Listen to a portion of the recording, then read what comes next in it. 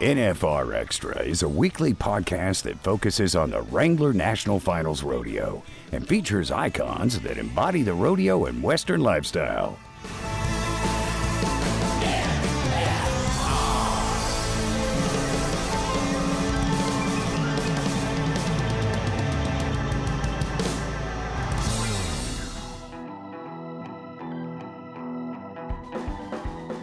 when you see like the the, the people that just and then you get the ones those days that have never bet before in their life. They walk up and they go, "I've never done this, so I want Tampa Bay." Okay, do you want them with the points? Do you want them without the points? Do you want? What's that mean?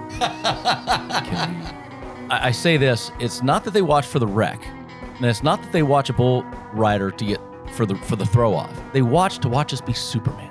Before you get, even step over the chute, you have to have that healthy fear, but you have to have that, okay, you're in that, you're in your world now. You got to stay completely focused because if you're a bull rider, you're putting your hand in this thing and you're not paying attention. This kid's, you know, got some horns on that thing and it's a it's a bull that's known to pick his head up in the chute. You better know that. That's what you're having for dinner. Yeah, Horn. Yeah, you're, you're going you're going to have it for breakfast and lunch and dinner for the next couple weeks.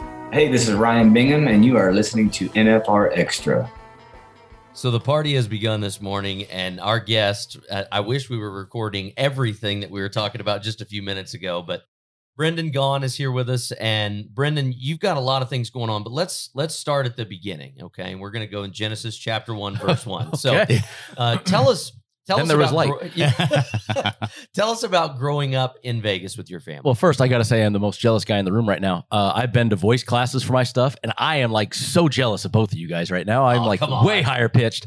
Um, no, so I mean, look, uh, this is born and raised for me. This is home. This is to me. Everybody says, "Oh, you know, Ve- growing up in Vegas." Oh, I'm like, look, it was Leave It to Beaver. Dad was home every night at six o'clock. The last seat was the one next to him because if you held your fork wrong, he was going to stab you.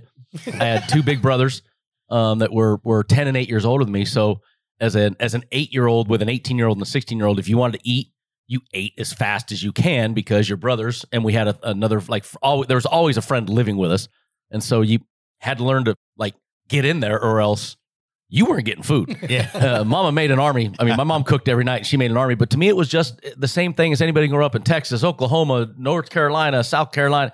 Just it was leave it to Beaver. Yeah. Uh, you know, you came home, dad worked. You came home, you might be allowed to have Wheel of Fortune or Jeopardy on the television. Otherwise, there was no TV and it was, you know, conversation at the table and Yeah. you had family dinner. We had a round table just like this. Actually, I still have that table. Um, I love my round table. It's it's an old wooden, got the burn from Christmas 83 in the center of it still. Um, and the knot in the back of my head. no, the- yeah, no, that, that- that's from the bottom of the table when you used to, you know, you go grab, try to grab something and dad would bam, you know, pull you up and smack back. Yeah. Oh, sorry. Um, but no, to me, growing up, Vegas was normal. You know that uh, yes, you had casinos. Yes, there's a picture of me at six years old sitting on a sports book counter taking money from people and handing it to Jimmy Vaccaro and my father and handing them sport Super Bowl T-shirts. You know, I mean, okay, but to me that was dad's job. Yeah. You know, if you went with dad, remember being you know three, four, five years old and at his old Royal Inn Casino, the very first one for the Barbary, and he'd come in and. You know, he's carrying his baby boy in his hands. He wants to stop talking to somebody. He'd put me on an open blackjack table, just sit on the table. But that it was a different era of Sure, you know yeah. things, and and so to me, that was just daddy's work. Right. It wasn't you know your dad in in the horse industry, your dad's in the in the you know restaurant business, your dad's whatever it is. That was just to me normal. So it didn't have any different connotation. Everybody goes, "Oh, it had to be so." I'm like, "You're just normal." Yeah. I, we are having a conversation. I can't remember if it was one who it was here in, in LVE, but uh, they're talking about uh, interviewing workers at casinos Mhm. And asking them who they work for. You know, oh, we work for X casino or Y casino or whatever. And it was like greater than 50% of people at the South Point said, I work for Michael Gaughan. Yeah. And so that like you look at how that trans transitions from the home raised the home life that he made so important with his actual uh-huh. kids and then the environment that he creates there. And you feel like you go to the South Point, I mean there is something weird about it to where you're just like this feels nice Well, here. you know, there's very few over the era of Las Vegas. There's there's a few places that when you say where do you work for, Yeah. you know, people will say, "Oh, I work at Caesars. Oh, I work here." But there was a couple, you know, Jackie Gaughan. You know, you work Yeah. for Jackie Gaughan. Right. You know, it didn't matter where it was. You work for Jackie Gaughan. If Yeah. you work for my dad at the Barbary Coast, the Gold Coast, the Sun Coast, the, you work for Michael Gaughan. right. And and we knew. I mean, the old joke of uh, you know we uh, we have employees that are so old they've changed my diapers. no, that's literal. serious. That's literal, not figurative. Um, matter of fact, uh, a guy named Greg Pike, who he's a big cowboy. If if you guys ever hang around the South Point, or if anybody knows my family, knows Mister Pike. Uh, six foot eight. He's been with us fifty years now. Wow. Wow. And when my dad bought the Royal Inn Casino in 1971 2, Greg Pike was a dishwasher at the Royal Inn when he when him and Frank Toti bought it. And he is still our purchasing director today. Mr. Pike still babysat my dad in the desert. Like when my dad raced in the off road back in the day, people don't know my dad raced off road forever since the 60s. No kidding. And when my dad raced, Mr. Pike was one of his chase crew. Well, I've been racing for 30 plus years. Mr. Pike is still the man that comes into the desert and takes care of me. Like there, there's stories years ago of Mr. Pike and I was lost in Mexico where truck broke down, no radio con. No, Mr. Pike was 32 hours driving up and down the highway. He was not getting done until he found where the hell I was. No And so to this Wow. day, Mr. Pike still comes down when my dad still races and does his Mexico trips. Mr. Pike still goes down and babysits dad. Mr. Pike comes and babysits me. You know, we, we have family that have been literally with us my whole life, and that's it. It did start with my grandfather. yeah. It was a it was a grand my grandfather's thing, and and look when you come to the South Point, if you walk into a casino and everybody's, mm. I guess the frown really doesn't really work on radio, but you know, but you know what I'm talking about. When Yes. you come in and, and the dealers aren't happy, or the or the waitresses, or the cocktail servers, or the or the bus boys, and everybody walks around. It's just it's their job. They walk through. You know, okay. It, it doesn't. It, you go great at our place. You know, yes, uh, there there are there are servers for us that have been with us 25, 30 years. There are there are bus boys that have been with us 20 plus years, and you know them by name. You know, when they come up, you you, you give them a hug. You say, "Hey, how's things going? How's the kids?" and and you know them. So it's it is different for us and our family, and it's always been that way. And it started with my grandfather. Yeah. So you touched on uh, racing, and tell us for those that don't know your background, tell us a little bit more about as you grow up, you get into sports and then into racing. Give, give us a little bit of background on that. Well, for my family, there was two big things growing up. There was horsepower and horse poop. and we we always had both. You know, that was kind of we we we had both ends of it. My mom, my even my mom was into horses.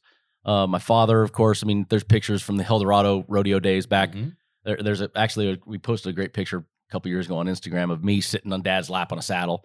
I had to be maybe six, seven years old. It's the Helldorado parade, and you know, sitting there with Dad. We've always had both. Uh, I gravitated towards the horsepower um, intentionally. I worked at my mother's ranch in high school. I was 15. She left me in a 10 acre field pulling weeds.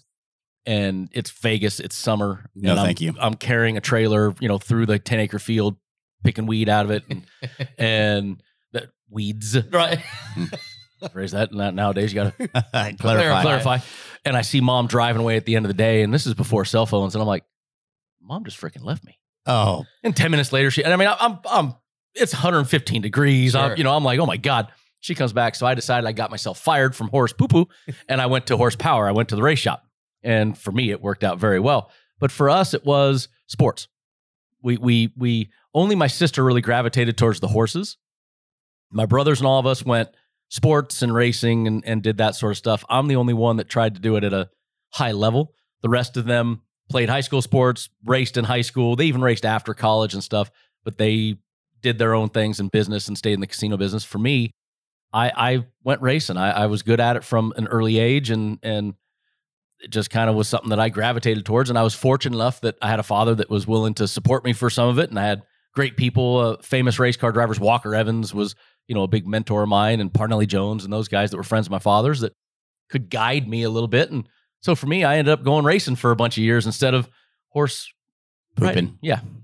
So I there's, didn't. I want to be polite here. You know, I can't say that. Yeah. so there's no no fear factor at all because No, I- there's fear. No, no. I, I mean there's fear. I, I drove. My mom used to have this Volvo when I was Oh, in stop. high school. Stop. Stop. Just listen. Hear me out. Oh, And I love this. All right, I'm went, ready. I went 110 on a back road one time, Yeah, and yeah. I was terrified. Number You one, should have been. getting caught. You should have been. But number two, you know, if you pop a tire at 100 miles an hour, like You're not saving it. no, exactly. You know, so uh, that that to me has always been one of those things. Is people watch NASCAR just like they watch bull riding for the wrecks. Like obviously, eh, you want to see somebody win, Yeah. but Yeah. you know, there's got to be a fear factor in that. So wh- what I always say is, and and I, I say this, it's not that they watch for the wreck, and it's not that they watch a bull rider to get for the for the throw off. they watch they watch to watch us be Superman. They want to see that big, spectacular, fiery crash, and they want to see you get out and tip your hat and wave Right. and go, Touche. "Look Yeah. at me." They they want to see that rider get you know get hung up for a second. Here come the bull savers. The clowns jump in. They rip his hand off, and the kid gets up, grabs his hat, wipes it on his chaps, and gets a little half limp out. And here come the Justin Sports Medicine team, and he waves to the crowd. Yeah. They want to see us be Superman. They don't want to see us get hurt. Right. They don't want to see us, you know, but they want they we seem superhuman to them because look at what we do. Right. You know, I flipped a car at Talladega in 20 whatever it was, 19 or something, landed on my wheels and got out and laughed and said, you know, the Russian judge docked me for not for the landing. It wasn't perfectly straight. They want to see that sort of thing. And so that that's for me, but there's a lot of that there is fear. I have known drivers that had no fear. They did not last long. It's healthy fears. Right. Every bull rider has a healthy fear before he gets on that bull. You know, every every race car driver should have a healthy fear. The ones that don't are the ones you don't remember because mm-hmm. they didn't Yeah. make it long. Yeah. That's got to be something just inches away, a couple hundred Yeah. miles an hour. I mean, that has got to be, you've got to be so honed in on what you're doing that your margin for error does Well, not exist. I've you know I was one of the more learned race car drivers for the last bunch of years, and I used to love. There's a very famous old Ernest Hemingway quote. There's only three real athletes in the world: mountaineers, bull riders, and race car drivers. The rest are just playing with sticks and balls. yeah. and and when, when you look at it, the the the mis- the ramification of a mental mistake in my world is drastic. You know, if I if I do stop focusing at Talladega, where I'm one inch from all four sides from somebody, we're pushing, and I got people telling me things doing. They have to have this. You know, you have to be paying attention to these things around you. You make, hey, what am I doing for dinner? Yeah. you know that don't work. And the same thing with you know once he once even before he puts his hand in that rig and what if- a, a, a bareback kid, a, a saddle bronc kid, any of the guys that are on rough stock, Yeah. before you get, even step over the chute, you have to have that healthy fear, but you have to have that okay. You're in that you're in your world now. You know what you're doing. You got to stay completely focused because if you're putting your hand, if you're a bull rider, you're putting your hand in this thing and you're not paying attention. This kid's, you know, got some horns on that thing and it's a it's a bull that's known to pick his head up in the chute. Well, you better know that. That's what you're having for dinner. Yeah, Horn. Yeah, you're, you're going you're going to have it for breakfast and lunch and dinner for the next couple weeks. You know, what I mean, it's going to get you. Lost So your grill. Yeah. you got to pay attention to those things when you're doing that, and those are that's part of the sport. Uh, I played college football, I played college basketball, and had a lot of the guys that I played college sports with would come to races. And as a race car driver, remember I'm a billboard, right? I mean, I got a fire suit on. It's you know I'm bought and paid for, right? I mean, I'm I'm I'm a whore, man. You you want me to? I, I will talk about your stuff. Yeah. And as soon as you stop paying it. me, Yeah. I'm talking about the next guy. yeah. And so you're sitting there and, and a pre-race, you know, for basketball, when we play basketball, you're sequestered. You're in your locker room, nobody's allowed in. Guys all got their headphones on and they're getting all serious. Got that look. And they go out and do their practice, their warm-ups, and they got layup lines, and nobody's allowed to be near them. In the racing world, I've got 55 sponsors next to me that I got a glad hand. I got to make sure that the customers they brought take pictures and smile. Or you've been out and watched those things. I mean, you go to those things with Las Vegas events.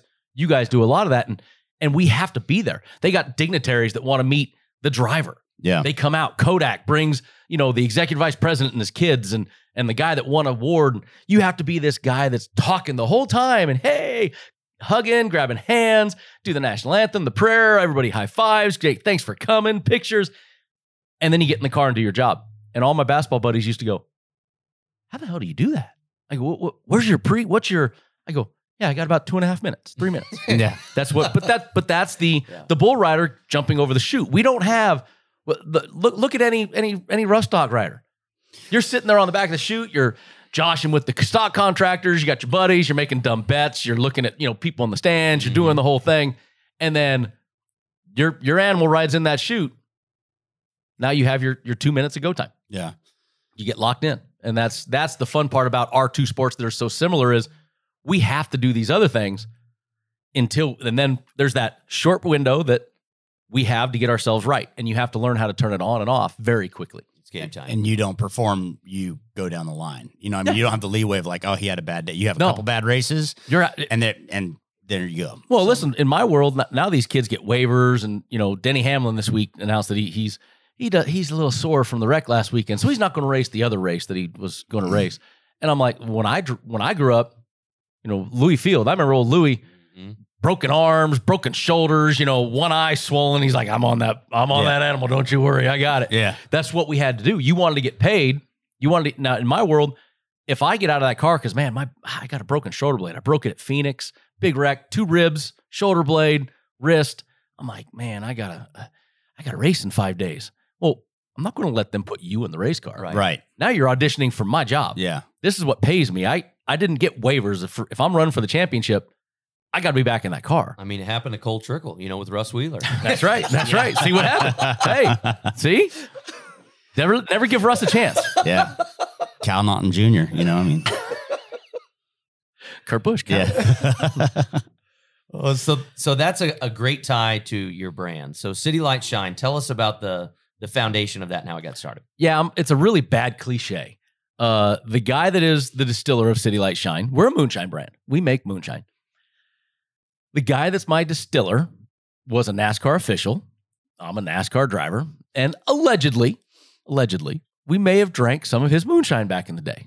Fully allegedly. Fully. Before or It after also the pa- race. it also powered the car. Hey, you never know when. It- That slight fear might have been Yeah. pushed off from that. And extra remember, it's all moonshine. alleged. It's all alleged. There's no, no, you know, allegedly drank some. And my father allegedly may have drank some blueberry back in the day. I mean, all, all alleged. Yeah. Hearsay. And when I was retiring, Mr. Dolan was a NASCAR official that was kind of near the end of it. He, he was getting worn out of the NASCAR side. And Dolan kind of went, you know, dad loved allegedly this blueberry. He thought this would be a great idea, this blueberry flavor. He think he would love it.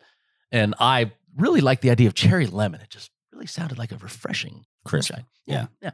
So I, I was like, you know, maybe we should do this. And dad said, look into it. Well, when Michael Gaughan says look into something, that does not mean, you know, hey, A give me a cur- yeah, give me a cursory look at this and tell me what the numbers are. It's hey, guess what? This is your new job. I'm like, okay.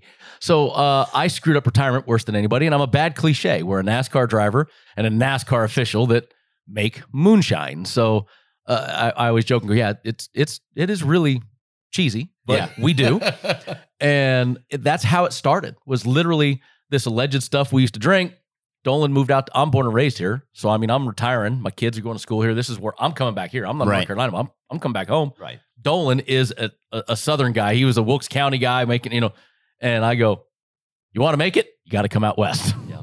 and so dolan went pack up the car hun. And they they came out here and that is the starts of city lights shine. It was literally nascar official retiring nascar driver retiring and we started making the moonshine that we allegedly drank. So tell us about all the flavors. Well so that gets a little more difficult now we're sitting here uh, we just added a bunch more we do a lot of we sell at a lot of places and we had our, our six original which of course original which is just Shine. Yep, just just straight shine. 80 proof. This is the hard part. When people hear moonshine, you guys think it too. We already joked about Yeah. running your car on it. Right. Right. That's what people think. She's sitting here going, "Oh." Yeah. But that's what people think is this is put hair on your chest, your cousin in Kentucky, and you know, used to make White this stuff. lightning. White lightning. And yeah, exactly. So you can't really Dolan's stuff was never that way. You know, as a NASCAR driver, everybody used to bring us their shine. Popcorn Sutton, the world's most Right. famous moonshiner. Mhm. Popcorn used to come in the garage, and all of us NASCAR, he, you know, hey, and I, oh, popcorn, thanks, man. Ooh, whew, yeah, good. And I go, oh my god. Yeah. And then I'd turn around and I, I, yeah, I'd come home and say, hey, popcorn Sutton Shine. I give it as gifts to friends because this is popcorn Sutton Shine. This Yeah. is this is famous stuff right here. And I'm like, oh thank God, smooth. And so Dolan's was the only stuff we drank. So it was like, well, hell, you know, let, let, let's make this stuff, but we got to make it for the mat. You can't make it where nobody wants to drink it. We're trying to be commercial. So it's 80 proof, just like normal vodkas, tequilas, anybody else. Yes, sir. And the other thing is, what do people do with moonshine? They get they don't know what to do, so we have to give them a little coaching on it because people are scared and they don't know what to do with it.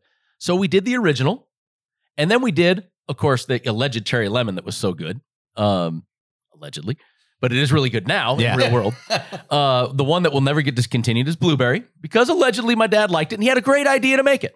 So blueberry is his favorite, and then we also have a, a flavor we call the, the Fireball Killer, uh, salted caramel Okay. Ooh. because nobody really likes to drink Fireball. You just drink it because you go, "Ooh, my buddies are out. Let's go drink Fireball." Yeah. Woo! Urgh, urgh. And that's what you do it for. so we made one that's easy to drink, and then we have the rest: uh, raspberry, strawberry, and blue, raspberry and strawberry. So we did a bunch of berries. We did all that. We've had those for the last six years. This year, my father wanted us to do some new flavors for the South Point 400 slot promotion. So we came up with five new flavors. we did salted caramel on steroids. We went candy bar. Oh boy. So it's salted caramel, chocolate, and peanut butter. Yeah, no, it's like dessert. Uh, it Yeah, almost no, like why does that sound good in a milkshake? It it is actually. Oh we, my gosh. I, we did take a steak and shake milkshake the other day and mix it, and it was stupid. Um, adult milkshakes. It, it's it's super good. And then you know we have a lot of Asians in Las Vegas. We have Zenshin restaurant at the South Point, and Mhm. everybody was asking me for lychee, lychee. I'm not really sure which way we had a joke before we Yeah. got on the air. Which way you say it? I'm not sure. I'm going to say it both every time. Lychee, so- lychee, likey. lychee like oh i like that uh so we made a lychee flavored which really smells really good i'm not sure what you want to mix with it but uh, we'll let the bartenders deal with that uh, a key lime uh plum and orange so we did these new flavors for this deal and that's what we're doing for the south point is five new flavors for the south point for 100 bottle promotion and it's the key lime I got a bet with my with one of my buddies in the office. He thinks orange is going to sell better than key lime. I think key lime is going to sell better with orange. So anybody listening to this, make sure you go buy key lime, not orange, because I got to win my bet. It's a big bet, one dollar. Trading place. What's your favorite uh, way to drink the shine So okay, listen, besides milkshakes? I, I'm boring. I love my cherry lemon, Yeah, and to me, it's just an old school sipper. You know, it's you pour cherry lemon, you sit there, you hang out with your buddies, and it's a sipper. neat. And yeah, just Yeah. I like it out of the freezer, you know, and and just cold as a sipper. Yeah, Um, it's funny now that we do this for a living. You go to tastings, and you see people that say they're whiskey guys, they're this guys, and they take a, a little shot of it neat and they throw it down. You're like, you're not a whiskey drinker. you're you're an alcoholic. No, that's not what you do. You, you don't you don't go grab a good thing of Pendleton or a good thing, you know, a, a Crown Yeah. XR or something like that, and take it and just throw it down. It, they're sippers. That's Yeah. what you do. And and you get these guys. You go to tastings, they go, oh God. I'm like, yeah. Well, you just did an ounce and a half of Yeah. a, of a straight shot of moonshine. No joke, it's not going to taste good. Yeah. You know, it, it's it's a sipper. You just killed yourself. So I like it just neat. But the problem is now you got to make stuff with it. I'm not crafty. So I'm not the guy that can go and make a 15 pour, you know, hey, I'm going to make crema de leche and blue curacao and all these things. Ah, not me. So me, I like we we we made three flavors: cherry lemon, salted caramel, and key lime that go great with just Pepsi and Coke. I mean, just literally, it, it, it tastes like a vanilla Coke, a cherry Coke, or just Coke and lime. You know, it's just it, right there, perfect. I mean, it- it's just simple to make.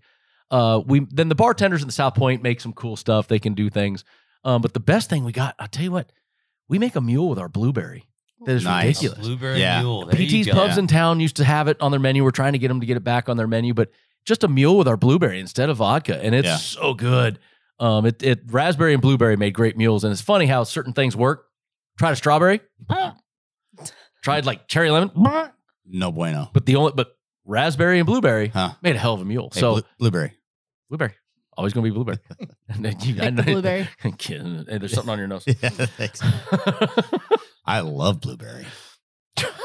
See, I just envision like That's why I'm wearing cherry this blue lemon jacket. with the cherry limeade situation going on, like a summer drink. Yeah.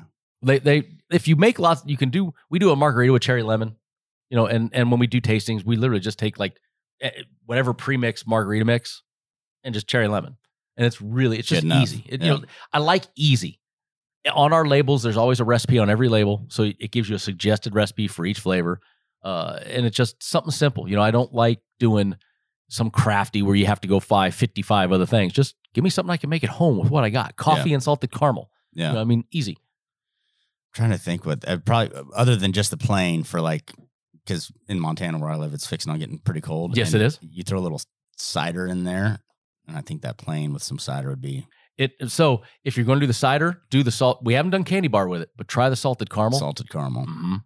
It, it's it's we've had some people that do that. I got a friend that does salt. Uh, I- I'm not going to rat her out, uh, but she takes you know pure leaf tea, Mhm. Yeah. you know, little in the 7-Elevens and you know Yeah. pure leaf tea. Yeah. Uh, she takes that and she drinks you know out, all the way out the neck of it, and then she just fills it back up with salted caramel, shakes it up. And if you're ever at a race with me and you go into my coolers and you go to grab the pure leaf teas, do not grab them. Be careful. Do not let the kids grab them. It is not going to be what you expect. Um, so That- yeah, that- that's like the that's the the beautiful. That, I mean, tea and moonshine. It's like that's she, I mean, she she grabs the pure leaf. I, I I found this out, but I found it out by mistake. I was like, Hmm. got out of a race car. I'm like, oh man, oh yeah. What was it? Whoa! Like, what happened to the tea? They're like, oh yeah, you don't grab my wife's tea. That's, I'm like, gotcha. You're welcome. Yeah. In more than three decades in Vegas, 360 world champions have struck gold. None have won more titles than the three that make up the inaugural Vegas NFR Icons class. Banners for Trevor Brazile, Charmaine James, and Ty Murray will be permanently lifted to the rafters at the Thomas and Mack Center. And on December 1st, all three will be honored at a tribute luncheon at Virgin Hotels Las Vegas. Get your tickets now. Go to NFRExperience.com forward slash NFR Vegas Icons for details. So transitioning from racing into the gaming industry, are you you still involved with the family business? Yeah. So for me, like I said, I screwed up retirement worse than anybody ever met. Um, I when I retired, I thought you know that retirement life meant you know beaches and and moonshine on the beach and Mm. all that sort of stuff. And yeah, I I screwed up. I got the liquor company. I got a cleaning company. uh, I do all of uh, uh, so my family with my father and and most of the people in the rodeo industry, you know, know know the big fella, know Pop a little bit. You know, some know him well, some know him just from passing. My father is a great man. Don't be his son and work for him. Uh, anybody that's worked with their family knows that sometimes it doesn't work out real well. So I'm the only son that actually can deal with working with his father in our family. Uh, it's very difficult, but I, my dad and I have a little different understanding. We've been through a few more things. We owned race teams together and stuff. That was a Mm. and so uh, we, we we do really well with each other. But that being said, that means the South Point is his. Stay away. yeah. Okay. Um, I go to meetings, guys. Kind of, I get all the numbers, I get all the stuff behind the scenes, and everybody. You know, Dad goes to me one day, he says, "Well, how'd you know that?" And I go, "Don't worry, how I knew it. Just, just, uh," you know." And all the everybody get, you know, hey, we need this from your dad. I go, hold on, let me see it. All right, hold on. Yeah, um, yeah, no, I'll give that one to mom. She can push that one. And- Go. So you jump rank. Yeah, yeah, sometimes it gets too big.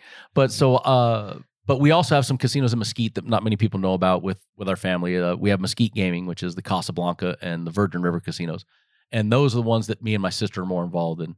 Uh, uh, my dad's partner forever, Frank Toti, his son Anthony runs it for us, and I'm out there.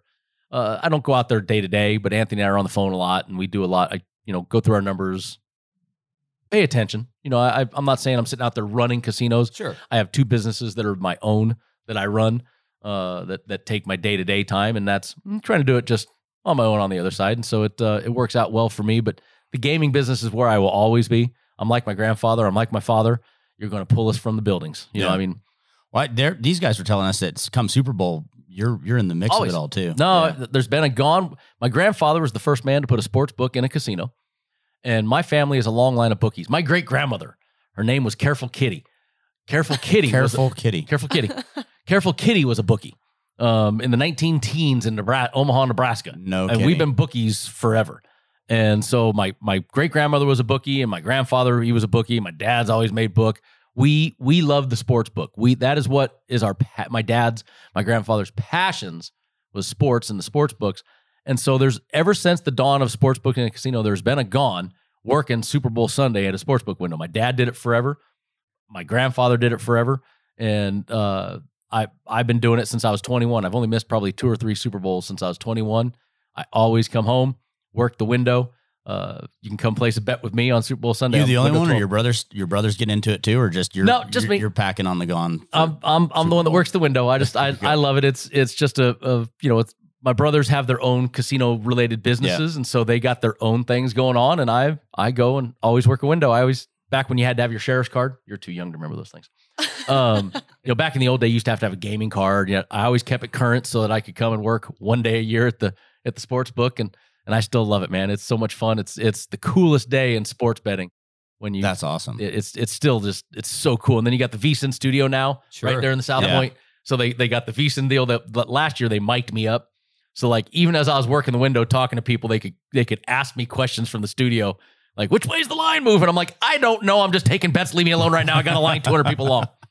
Well, the the crazy thing is though, is that that part of the business has changed so much Yeah. because like Oh yeah, when when I was in Logandale, the Masters was going on. Okay, so I saw the Casablanca and, Mhm. and ate dinner there at the steakhouse. That's that Catherine's. is Minnie that's- Michaels. Yep, That's a Catherine's really awesome. really nice property. But the sports book when when I came down and and had lunch with your dad and Ryan, I, I sat down and I was watching some of the Masters and I get it. Like you're sitting in a comfortable chair with a week long sporting event going on, and you can just sit there, have a couple of beers, play some prop bets, and I, I, I could see myself in the future. March Madness isn't as big for me, but some events like the Super Bowl or the playoffs, just coming in, sitting down in a chair, and the only place I got to go is the bathroom, which is about eight steps away. So Either way, I mean, both directions. you know, you, you guys have done a really, really good job putting that together. And, and listen, March Madness, it may not be your thing, but March Madness is the biggest, like Super Bowl is the biggest one day event. right. But March Madness ain't nothing like it.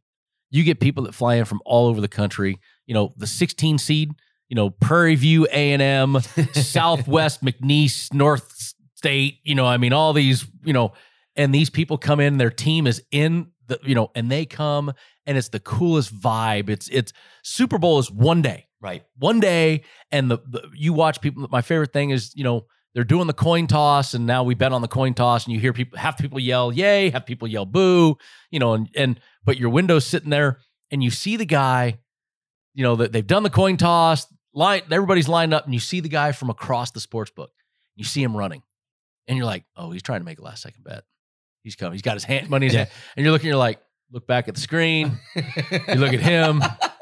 You got your finger on the on the on the 101 or 102 you're like what's he want? What's he want? And he's, he's wearing he's wearing a tampa bay all right he wants tampa bay. So i type it in. You're like how much how much?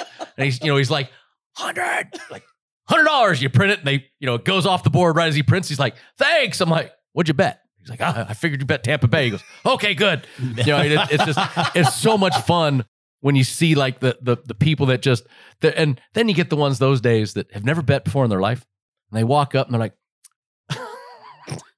they walk up and they go i've never done this so i want tampa bay.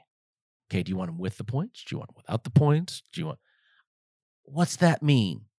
Okay it means that you have to win by six points. If you win by three you lose well that doesn't make sense. It pays you better if you hmm. And you're like ma'am there's 200 people in line behind you. Can we I try, not trying to rush you trying to be nice but there's a long line of people in the kickoff. They're they're doing the national anthem. It's coming up. You need to hurry. And so it's so much fun. It's just the whole vibe the whole atmosphere. And then i have a rule at my window since i only work one day a year. You come up to a window and you try to do a round robin bet or you tried to do some really stupid random parlay i'm looking at you and go go to another window get out Now, do you have a favorite story within those bettings? I mean, there's there's a lot of stories. The the fun thing for me that that my favorite story is just uh, really about. I take it very serious when I do it. I, it's fun, and I'm I'm Brendan Gaughan, the race car driver, doing it, or I'm Brendan Gaughan, the Gaughan family, you know, doing it. Or, there's all these things that you come in and want to take pictures for social media stuff, and my PR team wants it, and the spawn, you know, and so you, I have all these ancillaries going on, but I take it serious because it, it's it's real, and I have a whole line of people that if their drawer doesn't balance that day, they're in trouble. Yeah. Well, it's not right if my drawer doesn't balance. I go, sorry. No big deal. Yeah, no, it, it's so I take it very serious. And, and for every year, I've been doing it since I was 21. and I've missed a couple of years. So for 25 years, I have never not balanced except once. Mm. When was this? Nobody hangs me from a door, Johnny. My grandmother did it once. And two years ago, I didn't balance and I was furious. I was embarrassed. I was mad. Everybody's like, it's okay. Went in my pocket, pulled out the 300 bucks I was short. And I'm like, this mad. I was mad. And I realized that somebody worked my window for about 15 minutes because I had to go pee. Go, hmm. Hmm. So this year, I, I, I told the guys, I said, when I go to, um, I didn't go on break. I said, if I, if I go on break, nobody's touching my window. So I go to get counted out, the sportsbook director, he counts me out and I'm like $8,000 off. I'm like, what? Count that again. Oh, oops. He miscounted a couple things and I balanced to the penny again. And I'm like, I was to, I'm like, I was going to come unglued on people. So for me, all the customers have stories, but for me, it's, I take it serious. I want to balance. I mean, you get, you get people that you're paying people out. People come with tickets to cash and it's in and out of monies. And there's no, I don't use a cal. Everybody else over there using calculators. I'm like, type it in. I got it. Give you change. Run out the door. And I get uh, my goal is always every year. I like the busiest window because I like the challenge and it's fun because people bet with me. at Go busiest. fast. Try to go fast, and I do try to go Yeah. fast. And so for me, I get the busiest window. Uh, probably four out of the last seven or eight years, I've been the the highest uh, volume window at the hotel, and I always like to make sure I balance to the penny, and I have every year, but once. Still mad about that. Yeah, that Just one takes time. one time. Yeah, yeah, I'll remember. And Old Brendan, the non-balancer, like- uh, blueberry. when I got to ask you this is um, the South Point. One thing that I love about the South Point is, I, I mean, I'm not a Vegas guy. I'm not a city guy. And but when I come to Las Vegas, the South Point feels like it literally is at home because it has such a Western draw of course. and appeal. And so when that property was built, was the world class equestrian center that you have there, was that a no brainer or was that, I mean, what was the thought process on that? Because if you've never been to South Point, I mean, you got to go. We would say the world's, but we don't know if there's some random place in like Russia or something. Yeah. But it's the country's largest indoor equestrian center. Okay. We have 1,300 plus indoor climate controlled stalls. We have three indoor covered arenas. You know, we we we take pride in it. Now, you want the truth of how the this, this but the brilliant mind of Michael Gaughan and Frank Toti, these two geniuses they are. You want to know why it was built? Yes. To pacify my mother. They are smart. Mama's always right. They're they're smarter than I They- thought. you've heard Women this before. have control. Yeah. Have you heard the story before? I haven't, but I believe every Or moment they- that it is. If you've ever met Polygon, by the way, if you've met Polygon, you would understand why he's trying to pacify her. Behind every great man is a woman that runs, that definitely runs that one. And when he built the Orleans Arena, so you guys, you know, the Orleans used to be, you know, Right. one of our casinos, and right. and him and him and Frank had this big idea to build the Orleans Arena. And so there, my mom's like, "Ooh, this will be great. We're going to have horse shows there. We're going to do this and that." Yeah.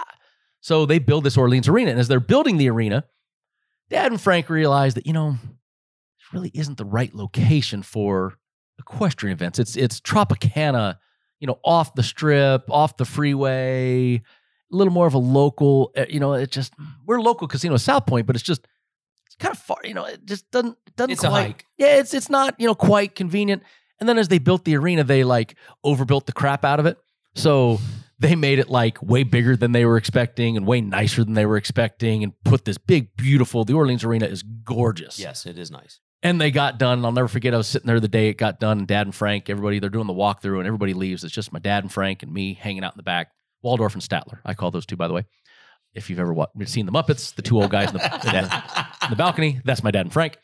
And they're sitting there and they're like, Mike, we got the, they're- they're telling each other how great they are. And it's a pregnant pause. And they go, Frank looks at my dad and goes, Mike, you realize we ain't got a freaking clue what we're talking about. My dad goes, yeah, but the Fertitas ain't got one. We got the, we got. And so I'm like, oh, okay. But what happened was that was supposed to be the equestrian center and it turned into the Orleans Arena. And so my mom got all mad when she looked at it and was like, oh, this is gorgeous. And dad goes, yeah, we can't do the horse events here like that. She's like, well, What? Why? yeah, what do you mean? So she he was in big trouble. So he promised her that the next place, there was the South Point was coast was already planned. He would do it there. And now, if you really look at location, if you look at where what's there, that was actually a brilliant idea, having it where it's at. And so it really was just to pacify my mom. And what he really thought was he was going to build this equestrian center, build all these horse stalls, build this arena with for horsing events and that you know at some point it it, it would if it you know when it didn't work out quite you know because really who's ever done that? That's i mean stupid. Who's going to really? Uh, well he would turn it into an arena again and do something else with it. And in the end it ended up being the greatest mistake of his life. And he now will say it was never a mistake. It was planned from the get-go and he knew what he was doing from the start because waldorf and statler were never wrong in the balcony. Yeah. and so yeah, that was it was to pacify my mother, and then that's how they got the Orleans uh, or the the South Point Equestrian Center, and then from there it became it's it's grown. I mean, we turned into the Priefert Pavilion, which is the two you know sides along with the main equestrian center. Now you got the Farnam Arena out back. Um, anybody that's been coming a long time remembers it was just the Orleans Arena, and then we had an old covered arena outside. Yep.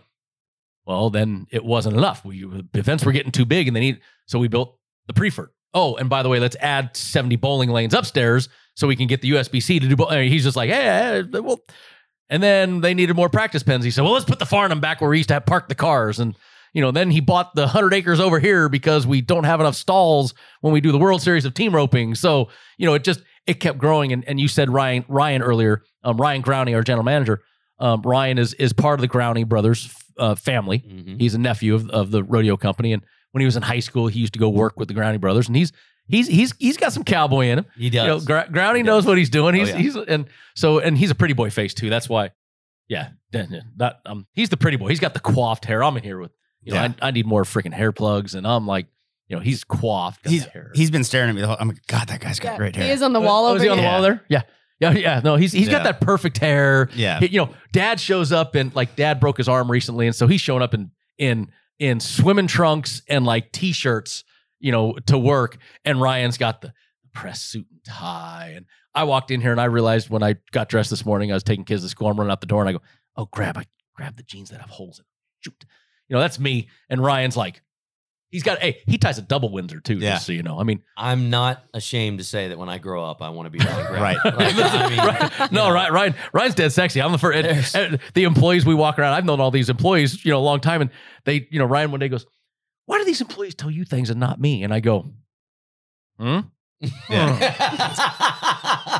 I mean, I'm li- Ryan. I mean, I, you look like a you look like a corporate suit, and I look like, hey, I'm your buddy. Yeah. You know, so. But no, I love Ryan does a brilliant job for us. But as we added these things, Ryan become the general manager, and it just it it flowed. Ryan and and he is a cowboy. He's he's Yeah. you know he he's a he's a, he's a ranchero. He's you know he goes and does these things, and he knows all the people, and the people know Ryan, and he's great with that industry. And we've grown that that South Point Equestrian Center into, of course, you have the the, the great Steve Stallworth. I Mhm. mean, Stallworth is absolutely one of the just it's a coup that that we ke- have kept Steve Stallworth as long as we have because he should have left us years ago for many other things. Yeah. And Stallworth just keeps digging out with us and but it, it's just it's awesome what that arena's become and when you look at it during the recession, you know, uh, from 08 to 13 when everybody was down, the South Point never was down year over year. It always was 1%, 2%. It was just it just stayed and that we we accredit that to the, the equestrian center. It just we kept it busy. We kept people coming. We kept people that wanted that still were trying to go do stuff. We kept it there and, and that equestrian center has become you ask anybody i mean you guys have traveled. Ta take a take a regular cutter a rainer uh, any of the normal horse events that that the everyday guys the western pleasure anything like that when you roll up to an not knocking other arenas don't i'm not knocking a cow palace i'm not knocking the stockyards i'm not knocking I've been to the Cow Palace. uh, I'm- but I'm, no, no, but I'm not. And, and even uh, what's the place they do the NCHA cut in the final thing in, in Fort Worth? God dang, I remember. the name of it. Dickies. No, no, it's the it's the the, Cowtown. Will Rogers. the Will Rogers. Will Thank Rogers, you. yeah. I'm like it's the Will Rogers. I've been there a ton of times. My mom and sister and all that. Yeah. But when you roll into these places, it's it's just like any other place. You roll in, it's hot. You got your tack, you've got your your horses, you've got all your stuff. You pull up, you find your stalls, you unload all your stuff. It takes you three hours in the heat to get all your stuff, get your stalls bedded, get your hay, get your animals fed, get them watered, get everything. You, then you find the place to park your truck. You unhook your truck and trailer, take all your clothes out of your, put them in the back of the truck. You drive to your motel room. You get checked into the motel. It takes you an hour to get all your stuff because you're going to be there a week and a half. And then you you get out and you go, oh, God, time to go check on the animals. You drive all the way back to the Will Rogers to check on the animals. You know, you got people that have to check on things. You pull into the South Point, when you ride under the equestrian center, the bellman and the hotel check-in is at the corner. So the bellman come, grab your luggage, you check in, get your room key. Then we got the the M&M guys that show up and grab your tack, grab your feed, grab all your stuff and say, "Okay, you're you're in barn B in stall 45." And they take your stuff for you. All you got to do is get your animal there and then you got power in every single stall. What most of the people do nowadays, they put baby cams in. There's Wi-Fi all through the equestrian center. All these guys put Wi-Fi so they can see if their horse. Uh, what's the water look like? There's still food. You know, I wonder what Cupcake's doing right now.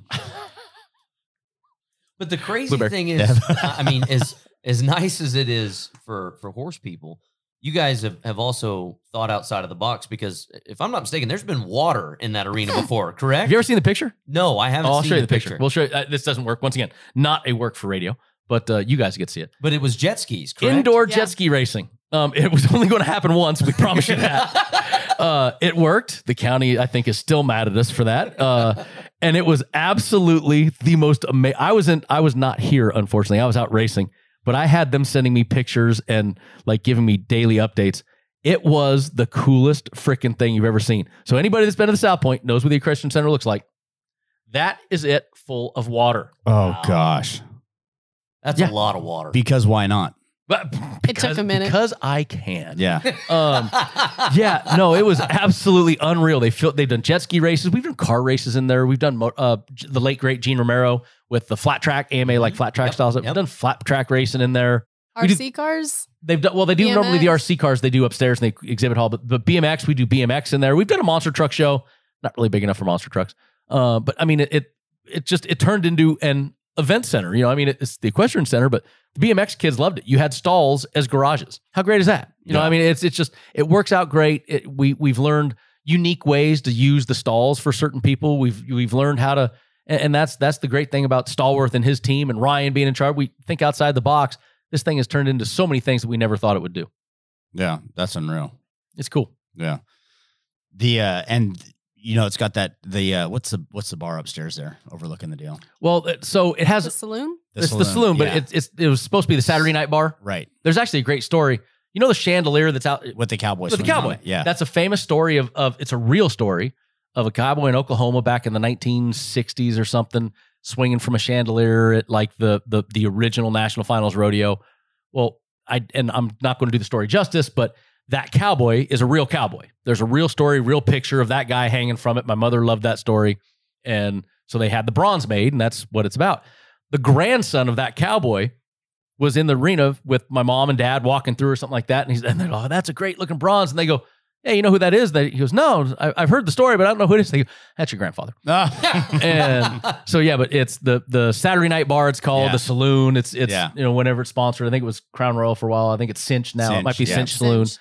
Um, hard to keep up with Purcell, what he sells around there. Purcell always, you know, selling. He'll sell. Listen, Purcell, he'll sell your forehead if you give it to him. I'm trust me, he'll get it Genuinely yeah. done. impressive. If you ever get the opportunity, ask him about the ice sculpture.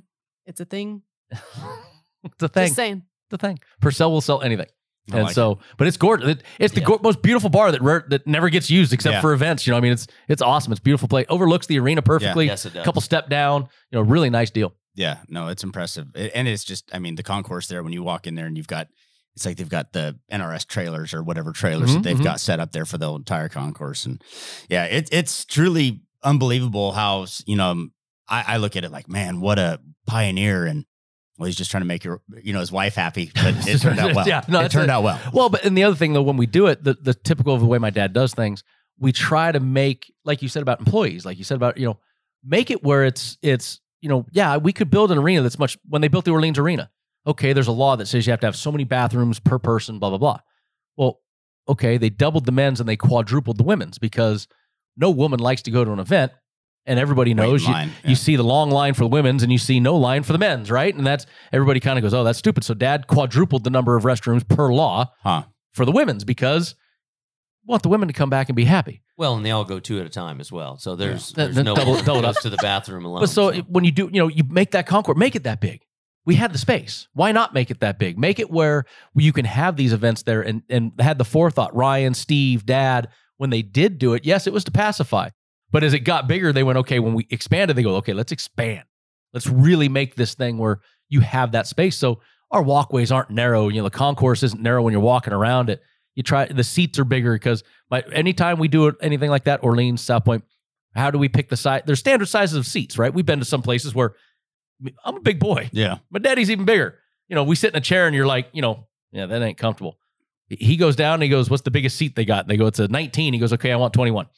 You know, it's like, make a seat that a man can sit in. yeah. You know, let, let, let's let's let's be adults here. We don't need If you're to trying to keep him in the seat for four eight hours, keep them. Yeah, you want people, you know, make them comfortable. Yeah. So I mean, it's just the way he does things is really, really good. And and fortunately, you know, for me, I've learned from some greats at it, and hopefully, I can continue that. And and a lot of those feelings for me continue. I mean, I'm I'm still racing. I'm still rodeo. You know, I I still love those things. Uh, it's it's in me, and it'll keep going as long as I'm long as I'm around. It'll Yeah. keep going this way. how old are your kids right now? Nine and eleven, Okay, and driving me nuts. One's Yeah. like me when it comes to women. The other's like me when it comes to sports. So I have the worst of both worlds. and and especially the one that's that's like me when it comes to girls because that it's not the same world that I grew oh up in. no, So no, yeah, I'm in trouble. oh. Hey, he's in trouble. But it'll, it'll come back to me. I'm I'm fine. I mean, he's Th- This is a kid at 16 months old. You know, you take him to a bar and every you know little cute you know wait. Oh, it's so cute, so cute, so cute. Yeah. And so she walks by, waitress walks by, and he looks at her coming. He smiles. you you know, she oh she walks by and he turns and watches her walk away, and then all of a sudden, the wife's sitting with a bunch of friends, and he's 16 months old, and he and he once again not a radio gag, but he looks down and he takes his eyesight from the her back to her lower back, Yeah. and then back up, and my wife looks at me and go, "I didn't teach him. I didn't teach him. I swear to God, I didn't teach him." I'm like, I'm like, man, that's in the DNA. Yeah, that's genetics in the right there, right there. I mean, son. all right. George Strait said it comes natural. Yeah. I was like, all right. At one point, he said he used to say he had 81 girlfriends, and he said it in front of a girl and, and two girls and their parents, and these two girls go, "Yeah, we're Michael's girlfriend. He has lots of them." and I'm looking at the dads, going, he's, I didn't he- do it. He's in first grade. Yeah. I'm sorry. yeah. They share crayons together. I Yeah, don't, yeah. It's like That's awesome.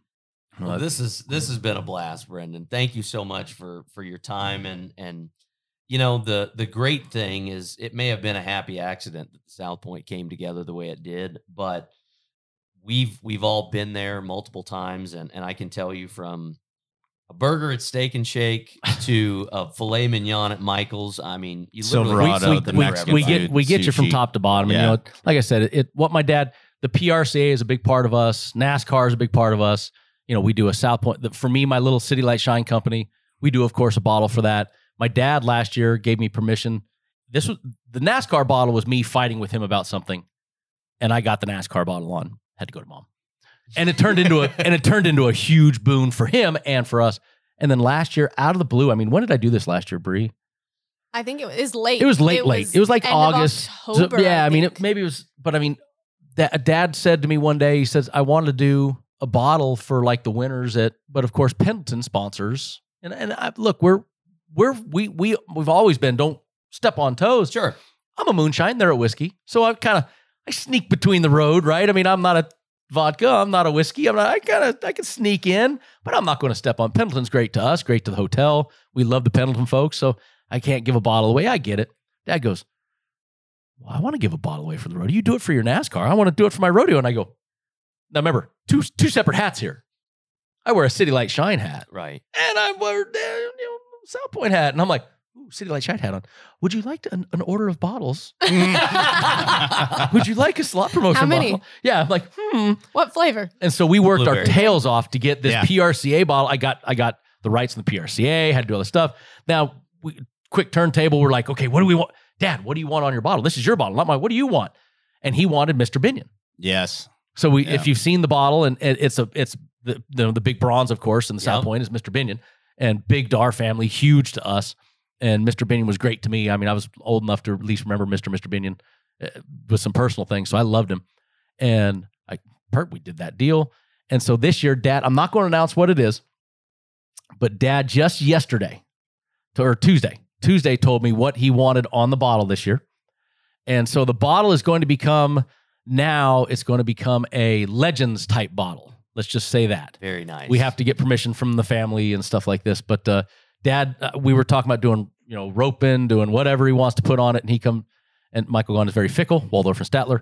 He told me he didn't want that. Then all of a sudden yesterday, he forget that he ever told me he didn't want it, and he said, "I want this person on the bottle." And I go, "Yes, sir." I go, "You make that call, I'll get you the artwork." And he goes, "Okay." So the the the South the CLS South Point bottle is going to be a Legends bottle, and this year it will have another legend on the bottle, and it's it's one that we're all very familiar with, and and once he gets permission from the family, we'll be able to talk about it. And it's going to be I'm really I'm honored that it's going to be this man on the bottle. So That is so cool. cool. So, Yeah. needless to say, these will become collectibles then. That's- if you're going to yeah. continue That- to do a different one. yeah, no, year. we're we're gonna you know as long as I can sucker Las Vegas events into the price they gave me and the PRC into the price they gave me, um, I can afford to do it. and so we're gonna we're gonna keep on doing these bottles every year for for the rodeo in December. And and Dad is it happy accident, right? Yeah. One of those things where Dad wanted this bottle last second because he liked the idea of it, which made me happy. It, it's a light little company. I'll, I'm not going to say no. And he wanted Mr. Binion, and then this year he says he likes the theme of legends, so he's gonna he he knows the legend he wants to put on it, and we're gonna it's it could end up being a series of just legends on on our City Lights Shine bottle, and it's gonna be neat. That's awesome. I love it. The uh, Benny Binion deal, when I, for my very first time I ever came to Las Vegas, um, I somehow finagled my way into the South Point Arena for the Benny Binion Bucking Oh, Horse yeah. wholesale. And uh, I was, you know, one of the auctioneers on it and, and uh, you know, doesn't pay anything. I'm like, that's great. You got to pay for your own room, even better. You know, what I mean, just going down the list, you have to pay your way. I mean, I had to buy my ticket Yeah, to go yeah, in there, you yeah. know, but I was just so happy to be there. And they gave me a Benny Binion, um, like a engraved card holder with the Mhm, Benny mhm, Binion figure on there. But my favorite buckle, uh, I got two of them for the years that I did it. Was uh, it just says Benny Binion Bucking Horse and Bull Sale, and just for the fact that it says that is like this is hands down my most favorite buckle because that's like. The, I mean, it's just quintessential. You look at what what Binion did and his whole thing in Las Vegas and rodeo. Benny Binion is like, I mean, that guy's amazing. First of all, we wouldn't have it if Right. it wasn't for and and I always say it. It's still in my head. I call him Mister Mister Binion. Yeah. Jack Binion, who is still alive, is Mr. Binion, and I grew up with Jack as Mr. Binion, and Benny Binion was Mr. Mr. Binion to me when I was little, and I, I'll never forget the. I'll give you my quick one, and then I'll. But so, uh, Mr. Mr. Binion, we're at the road. We're at the rodeo one of the first couple years, and it wa- you know it started out a little slow when it first started. It wasn't the the thing that it is Yeah. now, and my dad looks at me and says, "Hey, go find your grandfather." Um, it was 1987, 88. I'm 12, 13. So I'm a 12 year old, 13 year old. Dad says, go find your grandfather. Yes, sir. Where was he? "Uh, I think he was in Mr. Binion's suite. So I run upstairs and I barge in this suite like I own the thing. You know, slam the door open, walk in, looking around, making, you know, rustling everything up. And he had his cane and Mrs. Binion, Teddy Jane was sitting right there. And he slams that cane down and turns from the seat he was in. And I remember seeing him going, oh shit. and I'm like, took my breath away, and I, uh oh, and I'm like, he goes, boy, come here. And I'm like, yes, sir, Mr. Mr. Binion. And I walked down to him, Mr. Mr. Binion. and I called him that to him. I was Mr. Mr. Binion because Jack Binion was Mr. Binion. So what's he? He's Mr. Mister. So I, I, he grabs me and he puts me on his knee and he goes, son, what are you doing? I said, I'm looking for my grandfather, sir. My daddy sent me to find my grandfather. And he goes, did you run in my door and knock? I said, no, sir. He said, did you just storm in here like a mess of hell? I said, yes, sir. You going to do that again? I said, no, sir. He goes, your grandfather left here. He went down to the Las Vegas events booth. That's three doors down. When you get there, what are you going to do? I said, I'm going to knock on the door politely, sir. He says, That's what I thought, son. and he takes me off his knee, gives me a little kiss on the forehead, taps me on the butt, and I go, I go very politely walk out his deal, shut his door, and then I run down the hall. yeah, get a. but so he was such a nice man. Everybody was scared to death of him, but I he yeah, I was scared. I mean, I knew Yeah. let, that was my first job was eighth grade, uh, bussing tables and washing dishes at the Horseshoe. Um, he was still alive. It was right before Mr. Mr. Binion passed away, and uh, they had a union strike. And I looked at my daddy in the eighth grade and said, "Can I help Mr. Binion?" He goes, "You want to help Mr. Binion?" I said, "Yeah, I seen the thing on the news." My dad would come home. I'd get out of school. He'd take me to the Horseshoe, and no health card, no sheriff's card, no nothing. I'm 13 years old, bussing tables and washing dishes at the Horseshoe. That was my first job ever. That is awesome. Loved it. Family Love the goes back to family. Love the man. Binions. Yeah.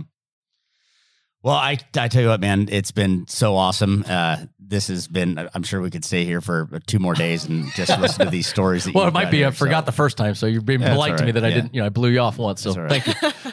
I won't. I won't hold it against you, blueberries. But Well, we can only donate so much to the South Oh, Point God. Gambling Fund, though. Yeah. Um, Listen, just buy a bottle of Shine. Forget the South Point. That guy's got plenty of money. Forget he's got plenty of cash. Just buy a bottle. Buy a bottle of blueberry, would you? Let's Amen. go. I, I couldn't even afford that back then. Well, thank you guys. I appreciate Yeah. it. a. It was an honor to be here, and, and thank you so much, and and appreciate all you guys do, and and especially what the rodeo world is to this family. It's done. I promise you, the rodeo world has done more for us than we've done for it. Thank you. well, it's it's a reciprocal agreement. I, I mean, you guys have done so much for us as well. So, um, from all of us to all of you, thank you to the Gaughan family. Thank you guys. awesome, man. Want to experience more of the NFR? Then visit NFRExperience.com and we invite you to subscribe to NFR Extra on Apple Podcast, Spotify, iHeartRadio, and wherever you're listening right now. If you like what you've heard on NFR Extra, we would love it if you gave us a five star rating and tell your friends how to subscribe.